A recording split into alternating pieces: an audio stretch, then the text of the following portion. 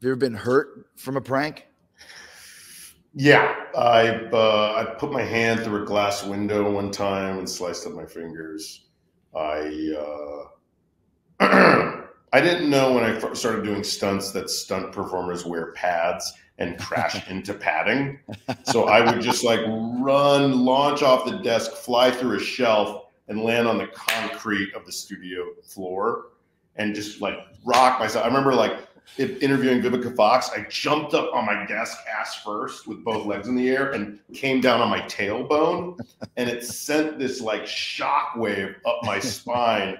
And the rest of like the year, I was walking around like the hunchback yeah. Notre Dame, like my spine like seized up, like and, and had, it was like scoliosis shaped, like Elephant Man. Fucking, so I was like, oh, right.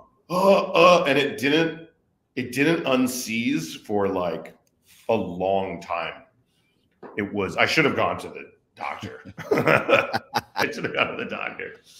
But uh, yeah, have you hurt yourself wrestling? You must have. Well, yeah, I mean, right? yeah, I mean, it's a little bit more controlled. Like you said, we we do know how to you know fall in the right places to to minimize the pain. I did fall yeah. on a, I did fall on a ladder once and bruise my coccyx, which is right at the end of the tailbone. So it's not it's it's this little part of the tailbone that's uh, at the end of the actual tailbone. During a match or while you were yeah during no, no, during a match during a match during a match. And when I went and, to the I went to the doctor and he said you have a bruised coccyx bone. I'm like, what can I do? Because what do you want me to do? Put a cast on it? Like, there's nothing you can do. Yeah, you know. You Tony Hawk Tony Hawk broke his pelvis and he's like, there's nothing you can do. Yeah. You just have to be in misery for just, yeah, just deal with it. Sit on a donut type of thing. I, I, was remembering too as we're talking, like like you mentioned jumping up on your desk. I remember even your, your studio was such like a scummy little shitty little studio. I was just so walking gross. around like this is so gross. Exactly. The carpet yeah. was all worn. It just that was uh, a great part of the whole situation we, too. We had a big chunk of carpet one time. We sprayed all this fake blood all over for a sketch. And the, the, the, fake blood, I think, had sugar in it or something. So we we rolled up the carpet, we threw it out, started smelling. Rolled up the carpet, we threw it out in the dumpster.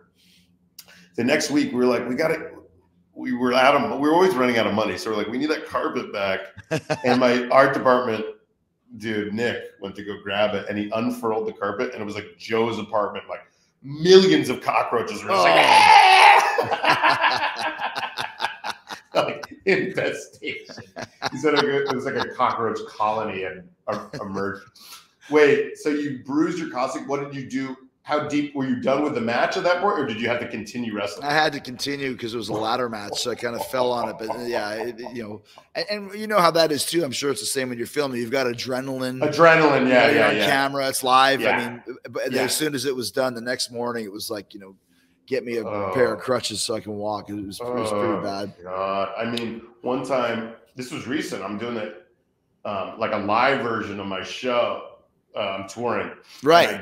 I, I, jumped off stage. I just turned 40 in April. So it was a very this is 40 moment. I jumped off stage. The crowd parted. Oh, no. I thought, I thought they were going to catch me. Yeah. They're like, I'm not fucking catching you, old man. they parted, and I went right down on my shoulder blade, right on the concrete floor. Boom! And then same thing, my like shoulder blade like seized up, and it was like the first ten seconds of the show. The rest of the show, I had to like yeah, walk yeah. around like a chicken wing, and like, uh, and then as soon as I was done, and the adrenaline wore wore off. Like an hour later, after I got off stage, fuck, I thought I broke a rib. It was like it hurt to breathe, it hurt to laugh, it hurt when I coughed or sneezed. It sucked. Well, and it's it's it's so what you're saying. This is like the explosion tour that you're doing. It's kind of yeah. so you do a live version of the of the Eric Andre show. Like, what exactly yeah. do you do on? Is it stand up? Inter- it- yeah, no, I, inter- I I destroy the whole stage. I interview people. I bring people out of the crowd and interview them. I I bring like a big. I get like a big jolly boy up on stage and I hook him up to this Janet Jackson sex X sex swing thing and I like tweak his nips and I like uh, jerk them off into the crowd. It's like a GWAR concert, and I'll, I'll find like the local celebrity in each town and interview them on stage, whether it's like a rapper or like a weatherman, whatever. Uh, we show videos. We show. Uh, it's just a mess. I make people like we had this guy in Grand Rapids. I made him He's that guy on TikTok. He has like a huge ass. He's a skateboarder. He's got his name is uh, Frankie, and I made him chug like four Red Bulls, four beers, four coffees, and like something else. Oh, hot sauce, all oh, back geez. to back, all in one go. and he started like vomiting on stage, and I made him crowd surf. yeah, it's just a bunch of nonsense. It seems like it's it's a, it's a lot of improv. You, you seem pretty. It's actually it's actually like the TV show where it's like very controlled chaos. It's like I have a ton of bits written and ready to go, but we improv within within gotcha. the, the the thing, you know. So it's like some it's like Carrot Top meets Gallagher meets GG Allin. I think is the, the comp for the show. V- very aptly, uh, great influences there. Yeah, yeah, yeah. GG Allin, man, uh, what a what, what, a what an influence he was for sure. Right? Yeah, yeah, he had a bit of a Terry Funk. Yeah, no kidding. Yeah, totally.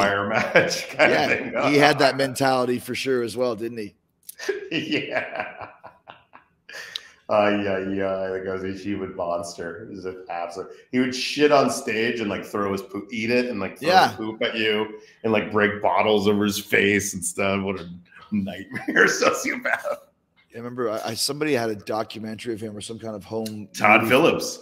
Todd the, Phillips. Wow, he did that. Todd Phillips dropped out of NYU film school when he was like 19 years old to follow GG Allin around for a year with a camera, and he wow. made that. That was that was his first magnum opus. Yeah, that's how he started. We, and now he, you know, and now he's like multi-millionaire from three Hangover movies and, and everything else. But that's what that was his start. It's pretty crazy. You can tell, like he was like, you could tell 19 year old Todd Phillips was like, who is this guy? Yeah, what does yeah. he do? Right, right. Where is he? He's also in the East Village. He's also in downtown New York. Get okay.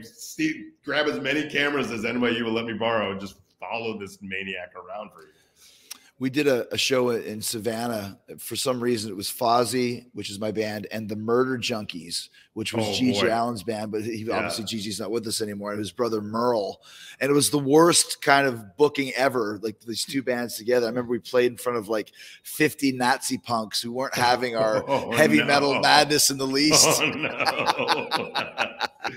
no. yeah, man. Oh.